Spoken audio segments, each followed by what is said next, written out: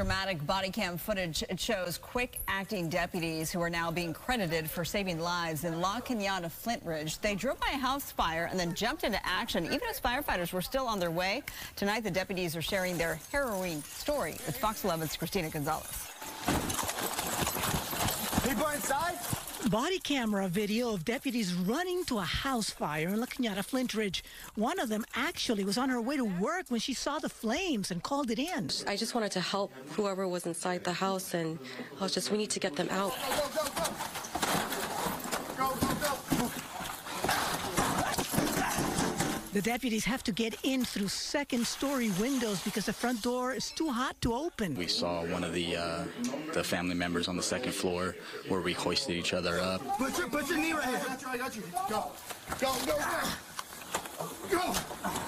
Come here, let's go.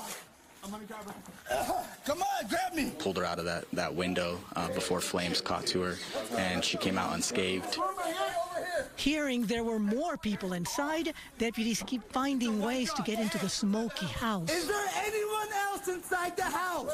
Hey, come on. He's saying there's one more. We attempted to search the rest of the residence, but it was completely covered in flames and uh, black smoke. I got her, I got her, let's go. I got her, I got her. That's when I helped um, one of the male occupants um, out of the house and into safety. The fire department arrives very quickly, taking control and knocking the flames down.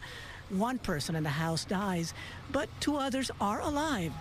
Thanks in great part to the deputies who say do not call them heroes. It's part of our job. It's something that I feel like even if you're not wearing this uniform, anyone should be able to do the right thing in that sense, and that was the right thing that day, was to help someone in need. In La Cañada Flintridge, I'm Christina Gonzalez, Fox 11 News.